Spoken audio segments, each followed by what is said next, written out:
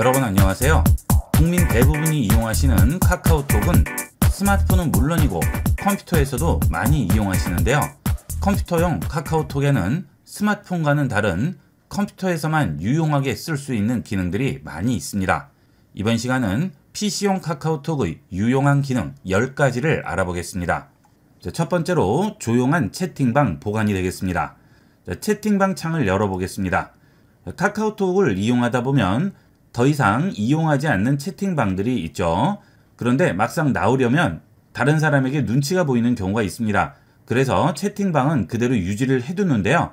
어, 그런 경우 채팅방이 너무 많아서 채팅방 관리가 어렵죠. 자, 그렇게 자주 들어가지 않는 채팅방들은 조용한 채팅방으로 보관을 할 수 있죠. PC용 카카오톡에도 스마트폰용 카카오톡과 동일하게 조용한 채팅방으로 보관을 할 수 있습니다. 조용한 채팅방은 스마트폰용 카카오톡에서 만들더라도 PC용 카카오톡에서 그대로 적용이 되지가 않죠. 스마트폰에서 조용한 채팅방으로 따로 분류를 해놨더라도 PC용 카카오톡에서는 원래대로 보이게 됩니다. 그래서 PC용 카카오톡에서도 조용한 채팅방으로 따로 만들어야 되죠. 자, 조용한 채팅방을 만들어 보도록 하겠습니다. 자, 이 채팅방을 자주 들어가지 않아요. 그러면 마우스 우측 버튼 클릭합니다. 그러면 조용한 채팅방으로 보관이라고 있죠? 보관합니다. 자, 그러면 조용한 채팅방이 생성이 되고요. 한 개의 채팅방이라고 있습니다. 자, 그 다음 또 하나의 채팅방을 보관을 해보도록 할까요? 마우스 우측 버튼 조용한 채팅방으로 보관합니다. 자, 그러면 두 개의 채팅방이 조용한 채팅방에 보관이 되겠죠. 자, 이 경우 조용한 채팅방에 카카오톡 메시지가 오더라도 알림이 울리지 않고요. 전체 않은 메시지에도 추가가 되지 않습니다. 하지만 조용한 채팅방으로 들어가면 않은 메시지를 확인할 수 있죠. 자, 조용한 채팅방으로 들어가 볼게요. 더블 클릭합니다. 그러면 조용한 채팅방 창이 열리게 되고요. 지금 들어와 있는 채팅방 두 개가 보이게 되죠. 자, 이렇게 자주 들어가지 않는 채팅방들은 따로 조용한 채팅방으로 분류해서 보관을 하시면 되겠습니다.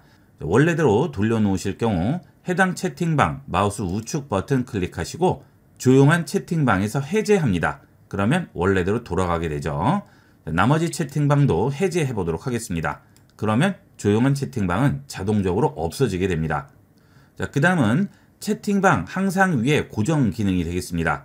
자, 예를 들어 이 채팅방에 들어와서 채팅을 하고 있어요. 자, 그런데 컴퓨터에서 다른 작업을 합니다. 자, 이렇게 워드 같은 것들을 이용을 해요. 그러면 가려져서 보이지가 않죠. 고정 기능을 이용을 해서 컴퓨터에 다른 프로그램들이 열려 있더라도 항상 위에 고정을 시켜 놓을 수 있습니다.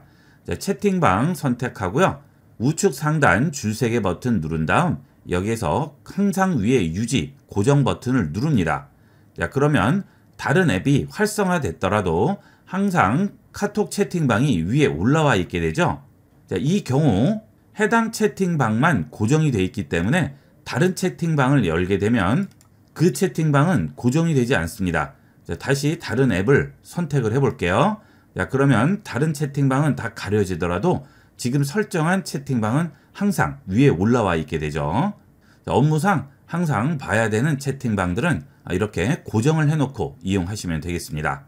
자, 그런데 이렇게 고정을 해놓게 되면 다른 앱들을 이용을 할 때 가려져서 이용하기가 불편합니다. 자, 그럴 때는 입력창 아래쪽에 있는 투명도 설정을 이용해서 채팅방을 투명하게 만들어 주시면 좀 더 편리하게 이용할 수 있어요. 자, 투명도 설정으로 투명하게 만들어 줍니다. 자, 이렇게 만들어 주시게 되면 어, 다른 앱이 아래쪽에 있더라도 그대로 다 비춰서 이용하는데 불편이 없겠습니다. 그 다음은 컴퓨터에서 카톡을 이용하다 보면 다른 사람이 보게 되면 일을 안 하고 카톡만 한다고 생각할 수가 있죠. 자, 그래서 눈치가 보이게 되는데요. 카톡 화면을 엑셀 화면으로 바꿔서 마치 열심히 일하는 것 같이 보일 수가 있어요. 톱니바퀴 설정 버튼 누르고요. 설정으로 들어갑니다. 그 다음 좌측 메뉴에서 화면 누릅니다. 지금 현재 기본 배경으로 되어 있죠. 자, 일반적인 카톡 대화방 화면인데요. 자, 그 아래에 있는 엑셀 스타일로 바꿔줍니다. 미리 보기 눌러볼게요. 자, 그러면 이렇게 카톡 대화방이 엑셀 같이 바뀌게 돼요. 자, 닫고 실행을 해볼게요. 자, 대화방 열어보겠습니다. 자, 대화방 화면을 키워주면 엑셀 화면과 잘 구분이 안 가죠. 자, 아래에 있는 FX 창이 입력 창이 되겠습니다. 여기에 입력을 합니다. 전송합니다. 자, 그러면 마치 엑셀 입력하는 것 같이 카톡을 이용할 수 있어요. 다른 사람이 보면 굉장히 열심히 일하는 것처럼 보이겠죠. 아, 물론 어, 일하는 시간에 카톡하면 안 되겠죠. 예, 이거는 참고로 알아두시면 되겠습니다. 자, 그 다음은 톡 타이머 기능인데요. 어, 이 톡 타이머 기능은 PC 버전 카톡에서만 이용할 수 있는 기능이 되겠습니다. 자, 좌측에 점 3개 버튼 누르시면 더보기로 들어오게 되죠. 여기에 보시면 톡 타이머라고 있습니다. 자, 톡 타이머 클릭합니다. 자, 그러면 집중할 수 있는 타이머를 설정을 할 수 있습니다. 자, 지금 업무라고 되어 있죠? 공부나 독서 선택을 할 수 있어요. 자, 업무로 선택을 해볼게요. 현재 1회에 25분씩 설정이 되어 있는데요. 상단에 있는 연필 버튼을 누르면 업무일 경우 집중 25분, 휴식 5분 이런 식으로 계속 1회차, 2회차, 3회차 진행이 되게 됩니다. 자, 공부도 마찬가지고 독서도 마찬가지죠. 자, 이 외에 여러분이 어, 특별하게 원하는 것이 있을 경우 카테고리 추가를 이용을 해서 집중 시간과 휴식 시간을 따로 지정을 해서 집중 시간이 끝나면 알림을 울리게 되고요. 휴식 시간이 끝나면 또 알림을 울려주겠죠. 자, 이런 식으로 내가 원하는 집중 회차만큼 계속 집중을 할 수가 있습니다. 자, 이렇게 만들었을 경우 집중 상태에서 톡 알림을 끌 수가 있어요. 자, 그 다음 집중 시간이 잘 유지가 됐는지 어, 기록 버튼을 누르게 되면 성공 횟수와 집중 시간이 나오게 되죠. 이런 식으로 내가 집중하는 시간을 설정해서 활용할 수가 있습니다. 자, 업무나 공부라든지 집중력을 높여야 하는 어, 다양한 활동에 활용해 보도록 하세요. 그 다음 PC용 카카오톡을 이용하실 때 어, 설정에서 꼭 체크해 봐야 되는 내용들을 보도록 하겠습니다. 자, 좌측에 있는 톱니바퀴 설정 버튼 누릅니다. 그리고 설정 들어갑니다. 자, 좌측 메뉴에서 계정을 누르시게 되면 본인 계정 정보를 확인할 수가 있죠. 자, 카카오톡은 항상 켜져 있기 때문에 어, 본인 계정이 어떤 건지 가끔 잊어버리는 경우가 있는데요. 여기서 계정 정보를 확인할 수가 있습니다. 자, 그 다음은 보안에 들어갑니다. 자, 보통 컴퓨터를 시동을 할 때 카카오톡이 자동 실행이 되게 되죠. 그러면 컴퓨터 시동 시간에 영향을 줄 수가 있습니다. 자, 그래서 보통 때는 카카오톡을 자동 실행을 하지 않다가 필요할 때만 자동 실행하시는 게 좋죠. 자, 그때 여기서 윈도우 시작 시 자동 실행 또는 자동 로그인에 체크가 돼 있으면 컴퓨터를 시동하면 자동 로그인이나 자동 실행이 되게 됩니다. 자, 또는 업무상 카카오톡을 반드시 이용하는 그런 분들이 계시죠. 자, 그런 분들은 컴퓨터가 시동될 때 자동 로그인이 되는 것이 편하겠죠. 자, 그럴 때는 여기서 자동 로그인에 체크를 해주시고요. 잠금 없이 사용을 하거나 또는 잠금 모드를 설정해서 이용을 하시면 되겠습니다. 혼자 이용하시는 PC는 잠금 없이 사용하면 되겠지만 여러 명이 같은 공간 안에 있는 경우에는 아무나 내 PC에서 카카오톡으로 접근할 수 있으면 안 되겠죠? 자, 그럴 때는 잠금 모드로 설정을 해주시면 되겠습니다. 자, 그 다음은 그렇게 여러 명이 있을 경우 자리를 잠시 비울 때내 어, 카카오톡을 다른 사람이 다 볼 수가 있죠. 자, 그럴 경우 잠금 모드 사용을 체크해 주시고요. 암호를 넣어줍니다. 확인합니다. 자, 그러면 일단 잠금 모드가 적용이 되고요. 자, 그 다음 PC 미사용 시 잠금 모드 적용에 체크를 해주시면 얼마 동안 PC를 사용하지 않으면 자동으로 잠금이 될지 여기서 시간을 정해줄 수 있습니다. 자, 3분으로 정하게 되면 3분 동안 PC에 아무런 움직임이 없을 경우 자동으로 카톡은 잠기게 되겠죠. 자, 잠시 자리를 비울 경우 어, 자동으로 잠기게 되니까 다른 사람이 내 카톡 메시지를 보는 것을 염려하지 않으셔도 되겠습니다. 자, 이것도 필요하신 분들은 체크해서 이용하도록 하세요. 자, 그 다음은 알림인데요. 어, 이 카카오톡은 PC 버전에서 알림에 대한 설정이 굉장히 많습니다. 자, 일단 소리 알림이 있죠. 자, 이것은 일반적인 카톡 알림이 되겠고요. 여기서 음량을 조절할 수 있고 알림음도 설정할 수 있습니다. 자, 그 다음에 알림창이 있죠. 채팅방에 메시지가 올 경우 알림창을 얼마 동안 보여줄지, 보낸 사람과 메시지를 같이 보여줄지, 그 다음에 표시는 어디에 할지를 여기서 지정을 할 수 있죠. 보낸 사람과 메시지는 보낸 사람만 보여줄 수도 있고요. 모두 보여주지 않을 수도 있습니다. 자, 알림창 설정 여기서 해주시면 되겠고요. 자, 내가 등록한 키워드가 포함된 메시지에 알림이 울릴 수도 있습니다. 자, 키워드 알림 체크하시고요. 키워드 편집 들어가셔서 여러분이 알림을 받고자 하는 키워드를 입력을 해서 추가를 해주시게 되면 아, 해당 키워드가 포함된 메시지는 알림을 울리게 되겠죠. 자, 예를 들어서 이렇게 긴급이라고 추가를 했습니다. 그러면 현재 알림 키워드가 예약과 긴급이 있죠. 자, 확인하시게 되면 예약과 긴급이라는 단어가 포함된 메시지가 올 경우 알림이 울리게 되겠습니다. 자, 그 다음은 내가 전송한 메시지에 답장이 달릴 경우 알림을 울릴 수도 있죠. 자, 이렇게 어, 여러 가지 알림 설정을 해둘 수가 있습니다. 자, 살펴보시고 나에게 필요한 알림 설정 해주도록 하세요. 자, 그 다음은 앞서 화면에서 엑셀 스타일로 변환하는 방법을 봤는데요. 아, 여기에 보시면 기본으로 화면 배율을 설정할 수 있습니다. 자, 지금 150% 설정되어 있고요. 글씨체도 맑은 고딕으로 되어 있죠. 여기서 화면 배율을 내가 원하는 배율로 바꿔줄 수 있습니다. 지금 현재 윈도우 배율이 기본 배율로 설정이 되어 있는데요. 여기서 더 크게나 더 작게 배율을 설정할 수 있죠. 카톡 화면이 작아서 보기 어려우실 경우 여기 화면 배율에서 나에게 맞는 배율로 설정을 해주시면 되겠습니다. 자, 그 다음은 통화 기능인데요. 보통 스마트폰으로는 보이스톡 같은 것들을 많이 이용을 하시는데 PC에서는 잘 이용하지 않으시죠. PC에서도 아무 문제 없이 이용할 수 있습니다. 그 대신 스피커와 마이크가 장착이 되어 있어야죠. 자, 스피커는 시스템 기본 스피커로 지금 설정이 되어 있죠. 테스트를 해볼까요? 자, 아무 문제 없이 스피커에 연결이 되어 있죠. 자, 마이크는 시스템 기본 마이크라고 되어 있죠.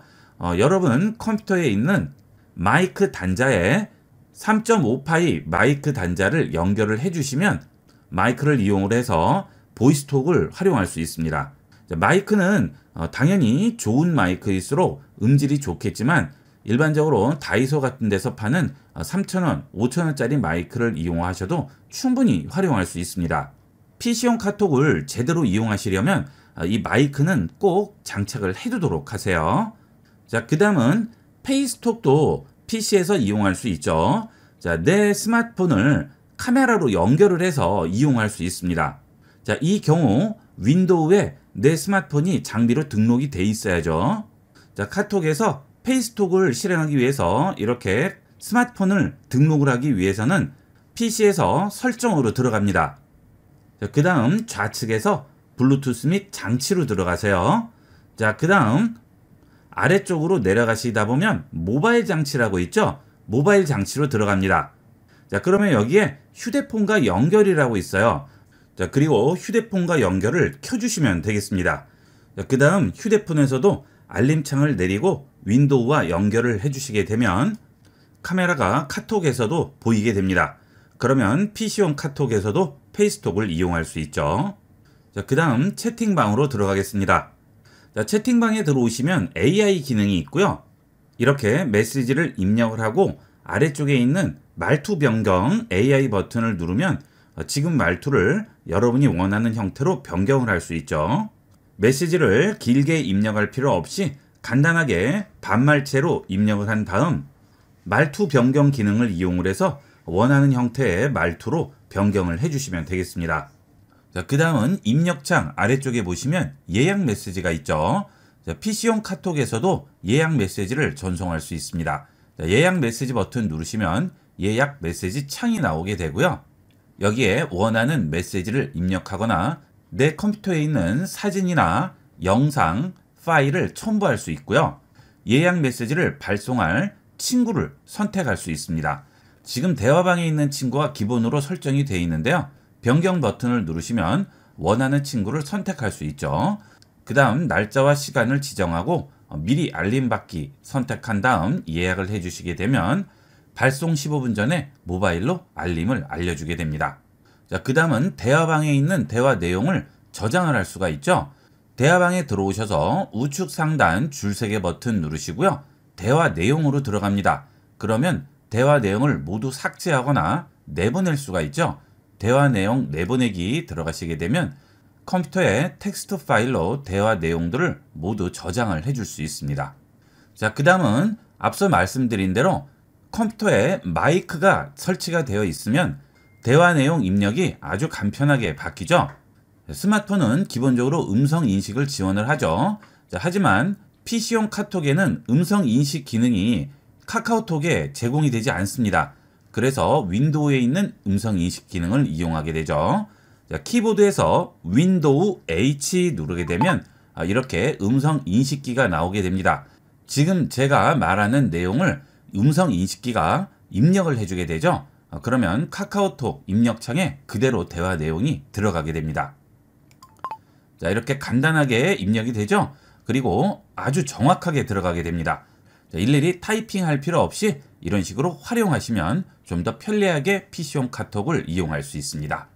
자, 이렇게 해서 이번 시간은 PC용 카톡을 좀 더 편리하고 유용하게 활용할 수 있는 방법들에 대해서 알아봤습니다. 컴퓨터에서 카카오톡 이용하시는 분들은 많이 활용해 보도록 하세요. 자, 이번 시간은 여기까지 하도록 하겠습니다. 감사합니다. 본 영상을 시청해 주신 모든 분께 감사드립니다.